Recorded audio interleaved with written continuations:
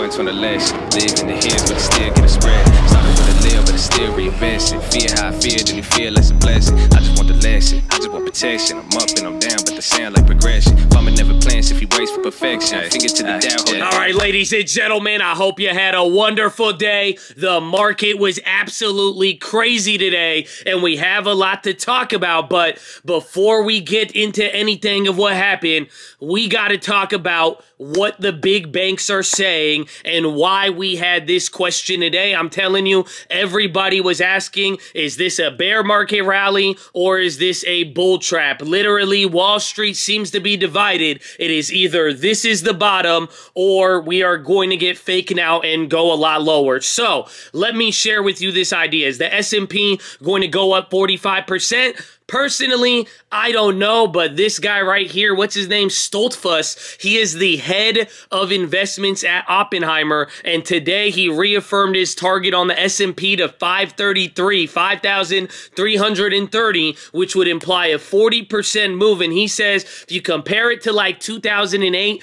uh, from the end of 2008 to March 2009, he says some things look a little bit better. So that's the first one. But then this morning, we got to hear from Goldman Sachs and uh, Morgan Stanley as well. And here's Morgan Stanley. They are saying that if we are going to get a recession, none of it is priced in and the market would have to go to 3,000. So literally, we had a bunch of opposing opinions today. But if you didn't notice, today was a bullish day and people are optimistic. Does it mean that all the pain has gone away? No. But what even Stoltzfus said himself, it looks like we are heading in the right direction. So we got a lot to talk about. I'm I'm going to go over what happened. We're going to go over what we got tomorrow with Powell. And then I got a couple of plays. We actually made quite a few, and we're going to get a little bit of an update here on the bank stock. So drop your thumbs up on the video. Make sure you're subscribed. And if you don't know, we are live Monday through Friday, 30 minutes before open. But here's the best part.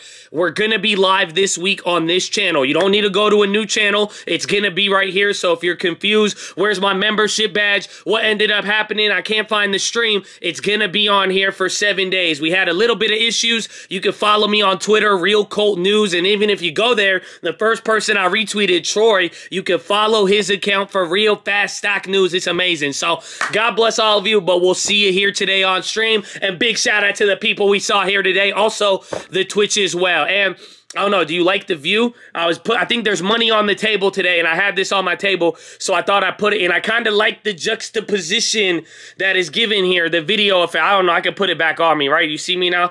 Yeah, there you. Now it's clear. Now I can see clear. Okay. Anyways, but let's talk now. What happened today? The market literally finished up 2.5 uh, across the board. Nasdaq and uh, Spy closed around the same points. At one point, we were up four percent today. But what happened? Why did we get what we got today. Here are the keys. It's very simple. Today was a lot more movement than news. So even though we moved a lot and everybody was asking like, what happened today, Josh?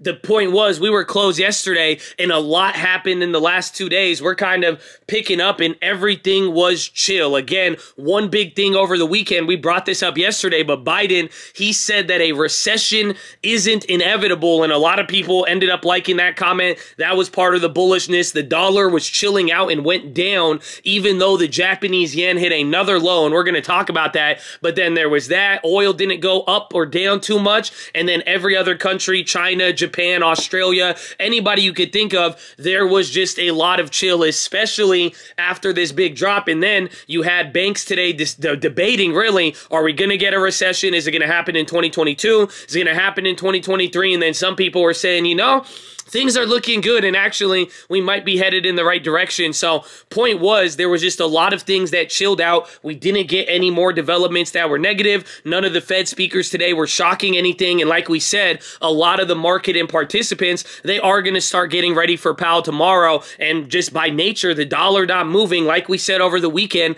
that has been a very, very big key. So that was the first part. That's what described today. That's why we got to see there was real estate data, but it came in lower than expected, uh, which was good. So we're going to see how it plays out. But now coming into tomorrow, this is the real key. You're getting Powell tomorrow morning, literally right at the market opens. And this is now one of those congressional speeches. And like we said, this shouldn't really move the market. I, I would not be surprised if by the end of Powell's speech, we kind of trade like today, assuming there's no other developments. But what I'm trying to tell you, most of it is pre-written statements. This is something they do every uh, six months. They go and they bring Powell, they'll even bring Yellen, and they'll grill him and all of that. But usually nothing comes about it. Why it's so important? We gotta watch for a bombshell. Pretty much, Powell has done this in 2018. He did it once at the beginning of this year to announce the balance sheet reduction. If we get anything new that wasn't mentioned and it's like actually big and newly hawkish or newly dovish,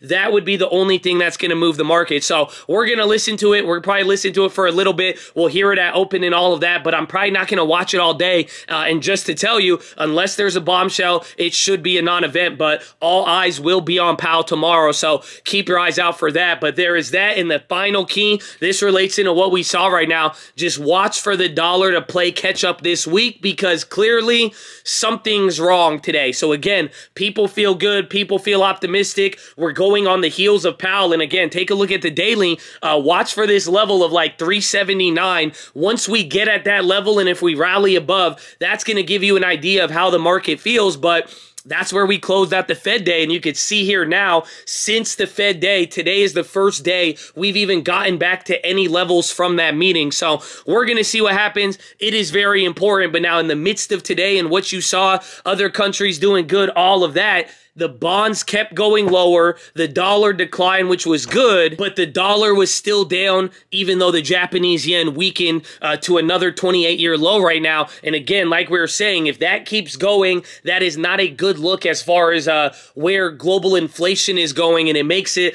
a lot harder for everybody to watch. And again, we could connect it to China and all that. We're not getting there just yet, but the point I'm trying to say today was very confusing. The dollar really shouldn't have been down like that with the yen being down that much, but that kind of balance down. And even though the dollar was down and the market was up 3%, the bonds still dropped and they're hovering near the highs right there. That also isn't good. So, what I'm saying here, as we get the data again, University of Michigan consumer sentiment, that will be key in any other real estate data this week. And then whatever Powell and everybody else says, but just watch out for the dollar to play catch up and see if that starts messing with oil again or if we see kind of the dollar start to act like the VIX. But that was definitely the most important thing that we got out of today, especially with kind of a chill return from the holiday type of day. So there was that, but let us get into the plays. So I'm actually really excited for these plays. I made uh, three different plays. I'm going to share two of them that I made. Uh, one of the plays that I made today that's not on this list, it was DaVita DVA. They got a Supreme Court ruling. I went with like a $30 like June or July option. Went up almost like 100%, but nothing too crazy. If that does develop, I'd watch out for them. But now, coming into the rest of the week, especially with what we saw today, my first play is going to be XLU. So if you remember, I brought this up last week on the watch list, and we were talking about okay, if we get any sort of mini rotation, if defensives kind of come back, remember the last couple weeks, it has all been discretionaries popping back after that little fear fiasco with Walmart and Target. So people were kind of liking the discretionaries, but if we get more, you know, move back into value and dividends, especially with ex dividends coming up in the next week or two, I was like, you know, maybe we get some defensives out of utilities and inflation hedge from there. So I thought it'd be good. It was moving up today, and the premiums were absolutely they were they were just beautiful. It was exactly what I wanted. So you could see a couple things here when I show you the chart. There's a couple of good and bad things going on. The first thing I don't like about it is that it's July 15th. I pretty much I went with the July 15th $70 calls. I grabbed three of them for 19 cents a pop. Pretty much went 50% by the end of the day. Again, different spread there, at least 30%. But like I said, the thing I'm not liking about this, it doesn't have much time. The thing I do like about it, look how cheap it is overall. Just, uh, I think, what, last Tuesday? This same option was going for 70 cents, $200 a couple of days before that. So, again, with a lot less time, it means something different, but this play was up a lot. Remember, utilities got absolutely smashed. So, that's the thing I'm not liking about it. But now, let's go to the daily chart, and I'm going to show you the real thing. When I grabbed it this morning at 19 cents, you can see it was a little cheaper, but most of the day, the first couple of trades in the morning, they were actually going for 30 cents. So even though the stock was up on the day and it was hitting an all time high, when I bought the trade, it was actually cheaper than what the options were going for that day. Had a lot of discount. It's related to the safe havens and energy a little bit. I was like, hey, let me take this. I like it. So I might grab more of it. These are kind of the plays I've been liking recently. Obviously, we don't know if that rotation value in the utilities will hold, but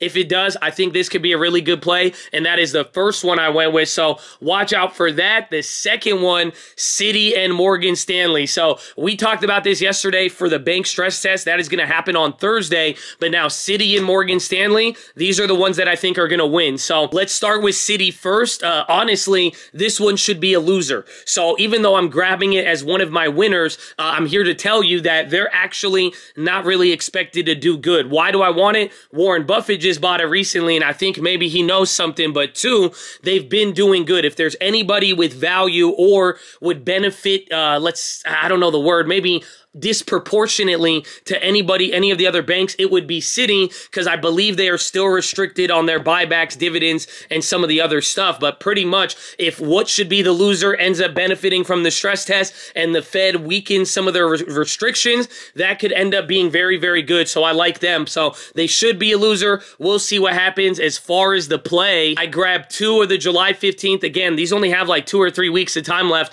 I got the 52 and a half calls. I grabbed two of them, 42 cents cents pop. Didn't really move much on the day. $80 total, but that's the first one. And then now coming into Morgan Stanley, I just really like them and they've been solid over the last 12 months. And even over the last six months, they've been one of the better banks. They've had better earnings, haven't really scared uh, as, as some of the other ones. So that's why I like them. I went with the July 15th, I believe, a $80 call. Yeah, I grabbed them in the morning for $1.22. Now they're going for 94 cents. So those dropped 20% from the morning. So we'll see what's going to happen but those are my winners. If we get another green day with the bank stocks, because they all opened up green today, I'm definitely going to find one on the put side, and I'm probably going to aim for Wells Fargo. So we'll watch what happens. But again, that is a catalyst that will be coming out here on Thursday. And then finally, this one's a little bit weird. Nutrela, uh, Nutella, and Regeneron, R-E-G-N. These are biotech, so why I'm going after it, there is a data release on June 24th, I believe for Nutrela, but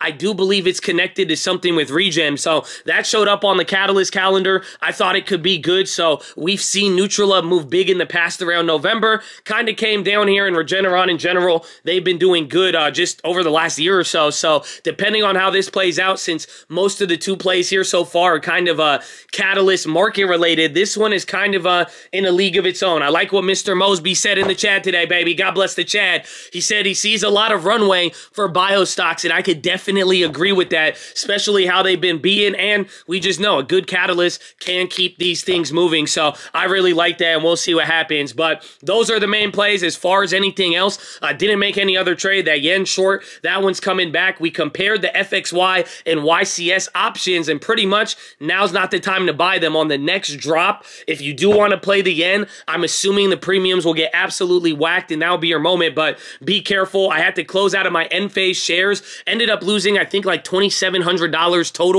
between the insurance and the loss on the shares. So that one wasn't pretty, but got out of that place still holding the Costco because remember, I got to roll over on any of those that I'm holding the shares with. But those were the only other plays. Like I said, following these ones tomorrow, going to be watching the global currencies, seeing what signals we have with the dollar and even bonds today. Again, how weird the bonds were. Remember, I said last week I'm going to be watching out for TLT today after that bond gap down. It really messed up the option. So we will see what happens. But keep your eye on the broader stuff. Watch for the catalyst, watch for the data, and before you know it, this week ends, and really, earnings in Powell is right around the corner already again.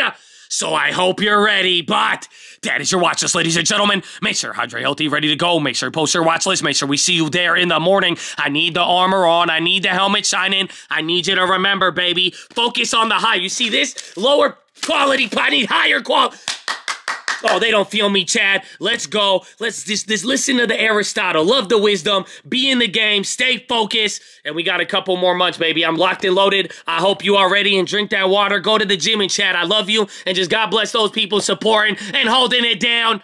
I'm going to see you very soon in the morning on this channel. God bless you. Okay, good night. Goodbye. Bye. All right, love you.